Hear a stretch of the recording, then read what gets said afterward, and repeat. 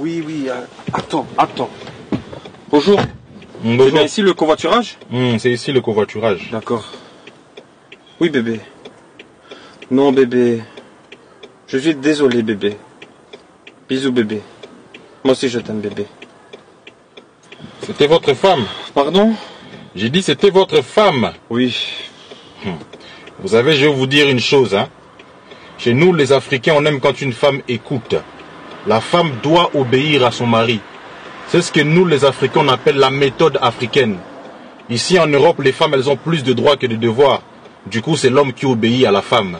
Ça, c'est vous appelez ça, je sais pas, les méthodes européennes. Mais ça, c'est un grand nom pour nous. Hein. Oui, qu'est-ce qu'il y a encore? Mais Joris, ça fait une heure que je t'attends, t'es toujours pas passé me prendre. J'arrive, arrête de m'énerver, je suis avec un passager. J'arrive te prendre dans 20 minutes. Maintenant, tu la fermes et tu me laisses bosser. Vous avez vu? La méthode africaine, simple et efficace. Two hours later. Ça, c'est ma femme, justement.